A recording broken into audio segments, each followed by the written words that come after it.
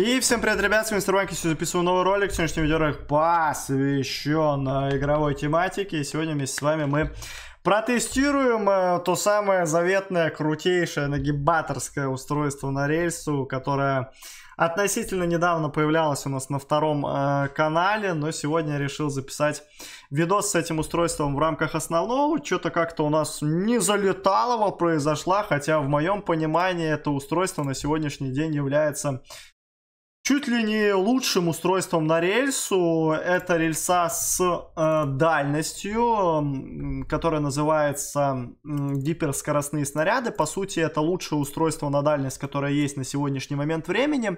Ну и мы вместе с вами сегодня попробуем его реализовать. В рамках дефолтного матчмейкинга запикаемся в режим TDM. Именно в этом режиме я считаю, что эту рельсу можно реализовать просто на максимум. Ну и главное, чтобы меня закинуло хотя бы на среднюю, а желательно вообще на большую карту, чтобы реализация нашего устройства была максимальная. Ну а если вам нравятся подобного рода видеоролики, то обязательно не забывайте поддерживать данный видос лайком, не забывайте подписываться на этот канал. Ну и, конечно же, не забывайте участвовать в розыгрыше на 3 миллиона кристаллов и на 30 тысяч танкоинов. Для этого в настройках игры в аккаунтике установите ему личный тег тег TeamP. Дальше оформляйте покупочку в магазине, ну и заполняйте форму, которая есть в описании. Вся информация по этому поводу в принципе, в описании-то и имеется. Поэтому, если вы вдруг еще не участвуете, обязательно переходите и участвуйте. Так, ну а меня запикало на солик, который мы уже, если честно, здесь быстренько начинаем сливать.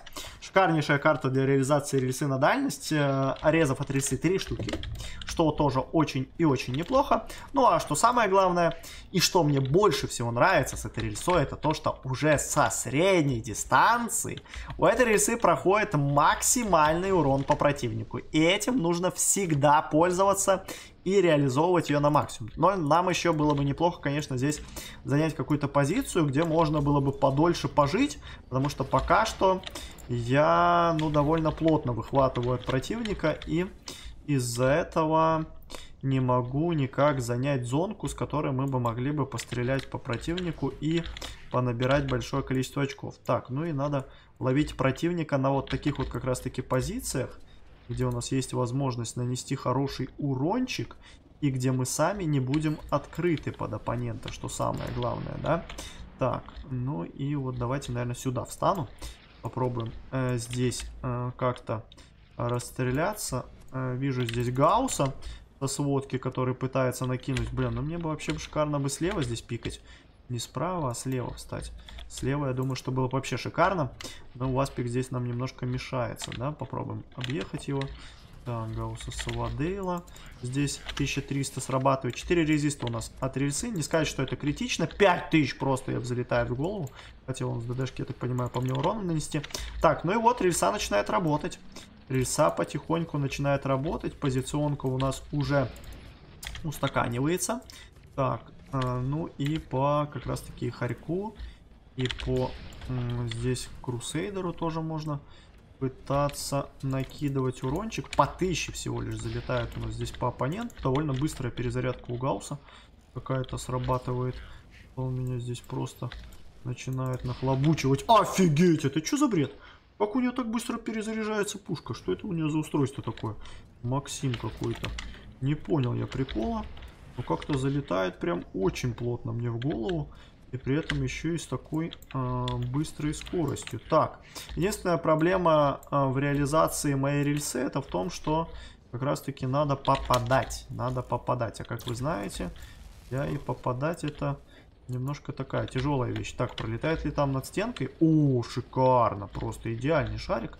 Чтобы под него какой-нибудь бы противник подставился. О, один хотя бы там подставляется. Но, к сожалению, его не сливаем. Так, один скиллов у нас уже имеется. Гауссы продолжают наносить довольно большое количество урона по мне. Я играю в 25-ки, и как будто бы можно было бы даже поменять здесь резист. Да, и взять резист 50 от Гаусса, чтобы меня как раз-таки здесь ребята не ваншотали. Ну ладно, мы а, лучше пострадаем. 25-очку свою пореализуем. Ну и будем стараться как раз-таки как можно больше урончика здесь в противничка Кидывать бомбочки начинают тут работать. Так, рикошет какой-то приехал. К нам на базу с разворота почему-то у меня не залетало вот здесь. Но 13 киллов мы, кстати, уже сделали. По катке, конечно, мы пока что еще летим, проигрываем. Притом проигрываем довольно крупно, но по киллам все выглядит так, что если я поживу, то будет возможность вообще выйти на какие-нибудь прям супер хорошие цифры. Так, Гаус здесь отлично подставляндру делает. Добавляндру ему еще доделаем. Так, Магнум начинает здесь тоже потиху накидывать. Оудишка на центре. Ой, Оудишка, говорю, голд на центре. Так, ну и под голд противничек, кстати, тоже пытается здесь играть. Магнум накидывает довольно тоже много. Так, по двоим еще хорошую рельсу. А, Раздавалову делаем. Так, но у меня уже стопроцентный поджог на танке. Это, конечно, не есть хорошо. Гаусс добавляет. 16 на 6. Какой-то фокус летит постоянно от противника. И из-за этого мы здесь улетаем. Если бы такого фокуса не было бы, есть ощущение, что можно было бы здесь уже выходить на какие-то хорошие циферочки.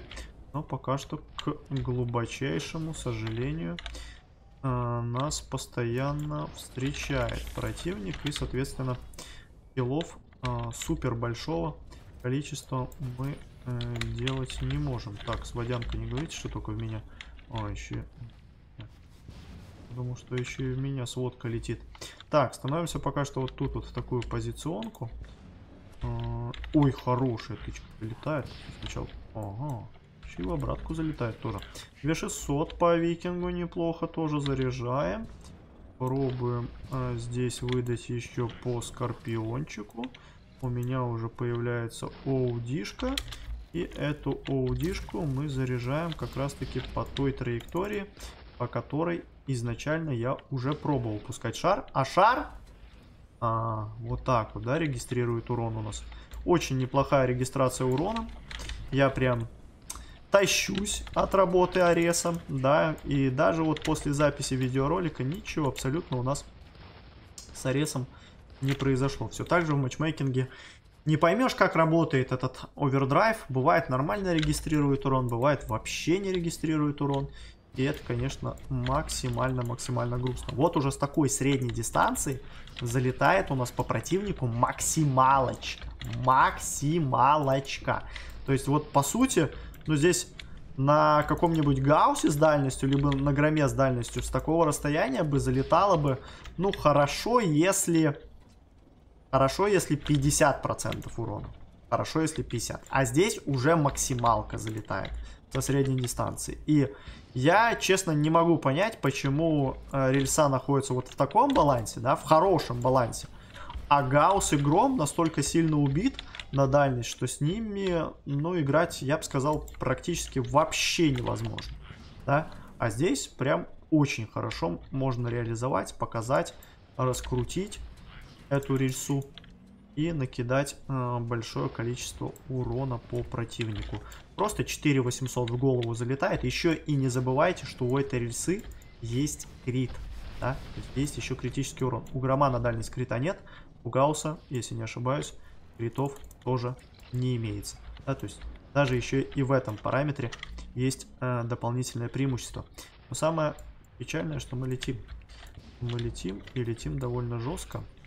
Я бы очень сильно хотел бы выиграть эту катку. Мне сейчас будет появляться OD. А, здесь викинг у нас, к сожалению, не открывается. Овердрайв даем просто вот такой. Чтобы ничего не выдумываем. Но по мне тоже Свадейла неплохая залетает. По Титану чуть-чуть регистрируем еще урон. 30 киллов, 4 минуты до конца. К сожалению, здесь будет досрочка в сторону противника. А так, есть ощущение, как будто я бы и на 50 килов здесь мог бы выйти. Потому что катка начинала, ну так неплохо раскручиваться. Да, прям очень неплохо. 32 у нас уже. Ну и здесь рикошет меня все-таки добивает.